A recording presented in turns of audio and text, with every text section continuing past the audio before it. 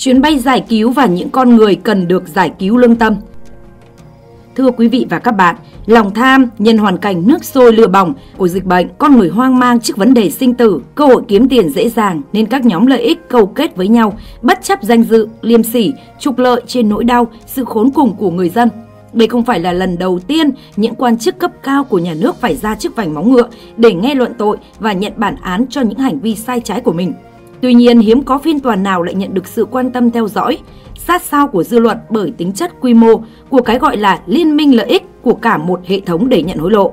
Lòng tham, nhân hoàn cảnh nước sôi lửa bỏng của dịch bệnh, con người hoang mang trước vấn đề sinh tử, cơ hội kiếm tiền quá dễ dàng nên các nhóm lợi ích đã không ngần ngại câu kết với nhau, bất chấp danh dự liêm sỉ để trục lợi trên nỗi đau, thậm chí trên cả sự khốn cùng của người dân. Một phiên tòa mà mới chỉ qua 4 ngày xét hỏi đã có quá nhiều phát ngôn, nực cười đến khó tin. Không những thế, các hành vi nhận đưa hối lộ trắng trợn cùng mức độ nhẫn tâm của một số kẻ được giao thi hành công vụ dần được sáng tỏ, trong đó có câu chuyện gây rúng động là gần 2.000 người mãn hạn tù tại Malaysia về nước trên chuyến bay giải cứu, khi đó cũng đã bị nhóm cán bộ ở đại sứ quán thu những khoản tiền trái quy định cao hơn thực tế. Để chia nhau hưởng lợi hay vô liêm sỉ đến mức có chuyển tiền thì mới có dấu đóng vào quyết định cấp phép chuyến bay. Vậy là đằng sau những chính sách nhân văn vì dân của Đảng và nhà nước lại bị chính những cán bộ được giao trách nhiệm thực thi lợi dụng để lũng đoạn quyền lực trục lợi con số 515 lần đưa nhận hối lộ với tổng số tiền lên tới 165 tỷ đồng, tức là trung bình 320 triệu đồng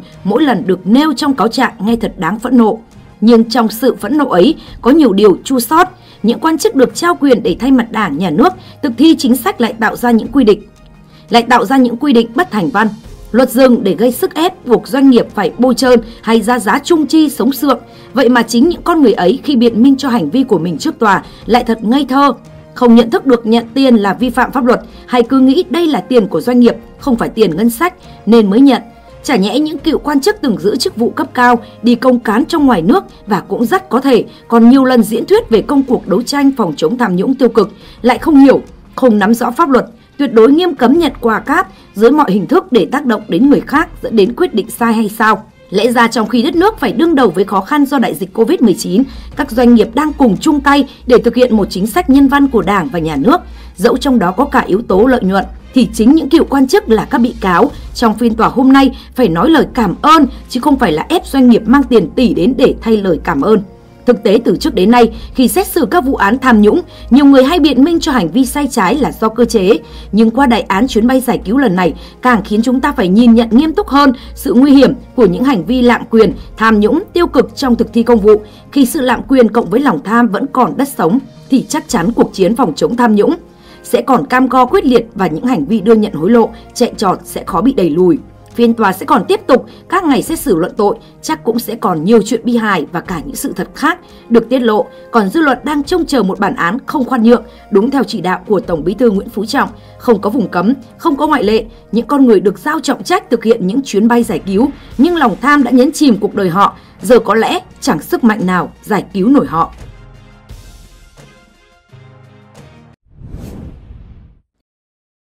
Lộ diện công ty chứng khoán vụ doanh nghiệp Yến Xào xuất hóa đơn 34.000 tỷ đồng trong 7 ngày.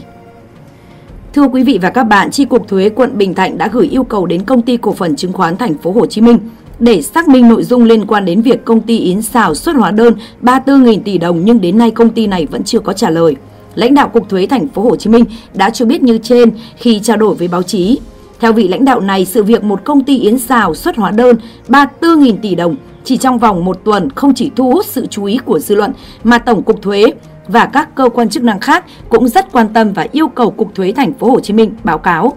Theo báo cáo trước đó của Chi cục Thuế quận Bình Thạnh, công ty Yến Xảo xuất hóa đơn 34.000 tỷ đồng, tương đương 1,5 tỷ đô la vào thị trường chứng khoán là công ty trách nhiệm hữu hạn Yến Xào Hapnet mới được thành lập vào ngày 11 tháng 10 năm 2022 Công ty đặt trụ sở trên đường Phạm Văn Đồng, phường 11 quận Bình Thạnh, thành phố Hồ Chí Minh. Giải trình với cơ quan thuế, công ty Yến Xào này cho biết thực tế có phát sinh hoạt động kinh doanh chứng khoán phái sinh mã VN30, công ty thực hiện giao dịch thông qua công ty chứng khoán HSC bằng phương thức khớp lệnh. Doanh thu phát sinh trong quý 1 lên đến hơn 34.574 tỷ đồng, cao hơn nhiều lần so với số vốn đăng ký của doanh nghiệp là 2,5 tỷ đồng. Hóa đơn đầu vào không phát sinh thuế VAT, nhưng doanh nghiệp xác định giá trị mua vào trên tờ khai thuế VAT thông qua bảng kê chi tiết giao dịch của công ty chứng khoán HSC. Hóa đơn đầu ra công ty này ghi nội dung là hợp đồng tương lai chỉ số VN30F 2210 tháng 10 năm 2022, VN30F 2211 tháng 11 năm 2022,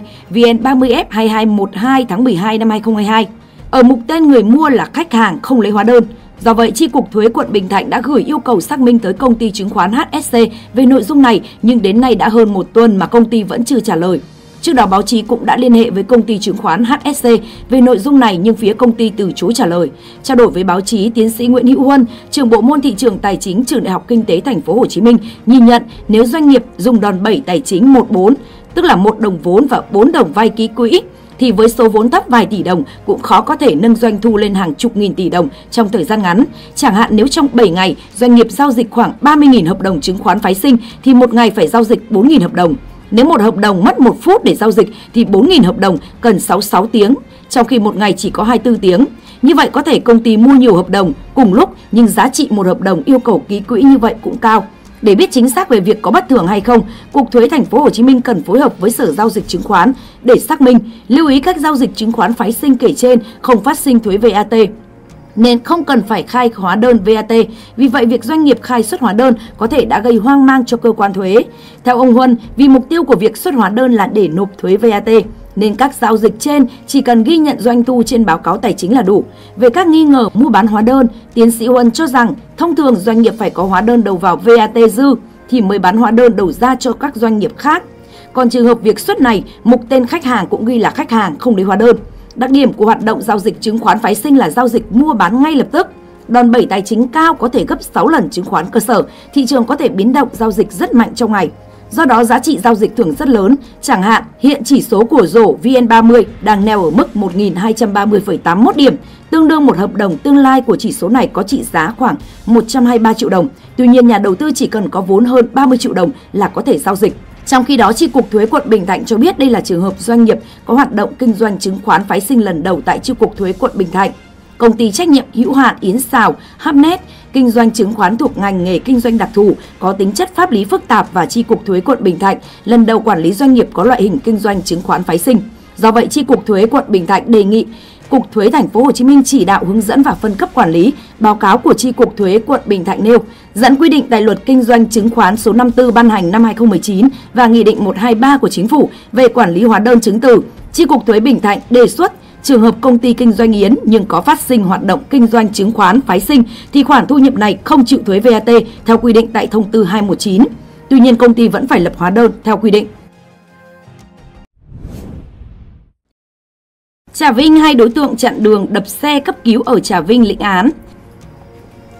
Thưa quý vị và các bạn, hôm qua Tòa án Nhân dân thành phố Trà Vinh, tỉnh Trà Vinh mở phiên tòa xét xử sơ thẩm hình sự đối với Hà Quang Danh, 25 tuổi, ngụ khóm 2 phường 1 thị xã Duyên Hải và Nguyễn Thị Mỹ Chi 20 tuổi, ngụ ấp Vĩnh Hội, xã Long Đức, thành phố Trà Vinh về tội cố ý làm hư hỏng tài sản. Theo cáo trạng, chiều ngày 31 tháng 5 năm 2023, xe cấp cứu chở bệnh nhân từ bệnh viện Trợ Rẫy, thành phố Hồ Chí Minh về bệnh viện Thiên Ân, thành phố Trà Vinh. Khi đến đoạn thuộc phường 7 thành phố Trà Vinh, thấy có hai xe mô tô của Hà Quang Danh, Nguyễn Thị Mỹ Chi và Huỳnh Thúy Nhi 24 tuổi, ngụ thị trấn Long Thành, huyện Duyên Hải, chạy cùng chiều phía trước nên tài xế bấm còi ưu tiên và vượt lên phía trước. Lúc này Danh và Chi cho rằng bị xe cấp cứu ép nên điều khiển xe mô tô chạy theo. Khi đến khu vực gần bệnh viện Đa khoa tỉnh Trà Vinh thì chặn xe. Sau đó Danh và Chi dùng gạch đá ném làm hỏng xe cấp cứu rồi điều khiển xe bỏ đi. Quá trình điều tra, xác minh cơ quan công an đã nhanh chóng triệu tập Danh, Chi và Nhi làm việc. Tại cơ quan công an, Danh và Chi đã thừa nhận hành vi phạm tội. Theo kết luận giám định, tổng tài sản thiệt hại là hơn 5 triệu đồng. Tại phiên tòa, Danh và Chi tỏ ra hối hận về hành động của mình. Khi được nói lời sau cùng, cả hai đều mong muốn được hội đồng xét xử xem xét giảm nhẹ hình phạt. Hội đồng xét xử tuyên phạt bị cáo Hà Quang Danh 18 tháng tù giam, bị cáo Nguyễn Thị Mỹ Chi 9 tháng tù giam.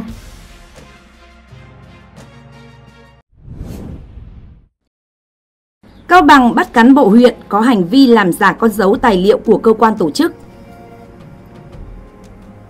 Thưa quý vị và các bạn, Hôm nay, thông tin từ Công an tỉnh Cao Bằng, cơ quan cảnh sát điều tra của đơn vị đã ra quyết định khởi tố bị can, lệnh bắt bị can để tạm giam đối với Tạ Việt Hùng, cán bộ công tác tại bộ phận tiếp nhận và trả kết quả theo thủ tục hành chính thuộc Văn phòng Hội đồng nhân dân, Ủy ban nhân dân huyện Trùng Khánh về tội làm giả con dấu, tài liệu của cơ quan tổ chức quy định tại điều 341 Bộ luật hình sự năm 2015. Cụ thể khoảng tháng 8 năm 2021, DHG sinh năm 1992 trú tại quận Ba Đình, thành phố Hà Nội có nhu cầu mua lại thửa đất tại tổ 4 thị trấn Trùng Khánh, huyện Trùng Khánh của anh LXH sinh năm 1994 trú tại huyện Trùng Khánh, tỉnh Cao Bằng với giá 200 triệu đồng. Sau đó G có nhờ Tạ Việt Hùng giúp làm các giấy tờ thủ tục chuyển nhượng thửa đất nói trên. Sau khi kiểm tra, Hùng đã phát hiện có sự sai lệch về thông tin trong giấy chứng nhận quyền sử dụng đất. Do đó để thực hiện được thủ tục, chuyển nhượng đối tượng đã thực hiện các hành vi giả mạo chữ ký, chữ viết hồ sơ để nhằm mục đích gian dối trong việc bàn giao hồ sơ giữa bộ phận một cửa và văn phòng đăng ký đất đai, từ đó hoàn tất các thủ tục mua bán đất trái với quy định của pháp luật. Ngay sau khi tiếp nhận vụ việc, cơ quan cảnh sát điều tra công an tỉnh đã tiến hành thu thập tài liệu, tiến hành điều tra xác minh, đồng thời triệu tập những người có liên quan để làm rõ. Tại cơ quan công an, David Hùng đã khai nhận toàn bộ hành vi phạm tội của mình, vụ việc đang tiếp tục được điều tra làm rõ.